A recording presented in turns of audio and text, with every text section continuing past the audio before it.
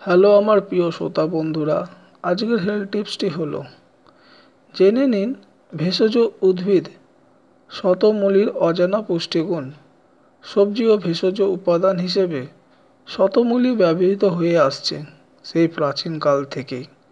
যদিও আজকাল শতমূলি শুধুমাত্র ভেষজ উপাদান হিসেবে বিবেচিত। তথাপি এটা সবুজ হিসেবে অনেক সুস্বাদু এবং পুষ্টিকর। চলুন জেনে নেওয়া যাক ভেষজ উদ্ভিদ শতমূলির অজানা পুষ্টিগুণ। পুষ্টিগুণ উচ্চমানের ফলিক অ্যাসিড ও পটাশিয়ামের উৎস। এতে আরও রয়েছে fibre, vitamin A, vitamin B, ছয়। একশো চল্লিশ গ্রাম শতমূলিতে রয়েছে ষাট শতাংশ ফলিক অ্যাসিড।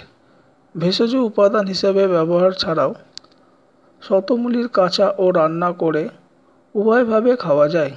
তবে রান্নার ক্ষেত্রে ভাপে রান্না বা কম সময় ধরে রান্না করার পরামর্শ দেন বিশেষজ্ঞরা। উপকারিতা, শতমূলীর স্বাস্থ্য ও গুণাগুণ অনেক। এটি উচ্চ রক্তচাপ নিয়ন্ত্রণে আনে।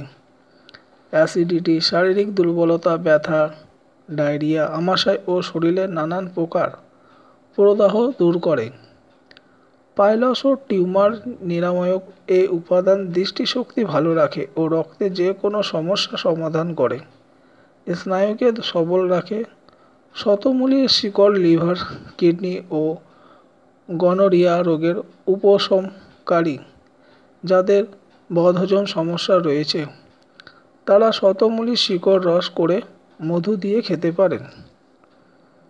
ঋতুস্রাব ও জরায়ু অসুস্থতা ছাড়া লিউকোরিয়ার আক্রান্ত ব্যক্তিদের জন্য শতমূলির ওষুধ হিসেবে সহায়ক ভূমিকা পালন করে। সো বন্ধুরা, এই রইল আজকে হেলথ টিপস ধন্যবাদ ভিডিওটি দেখার জন্য।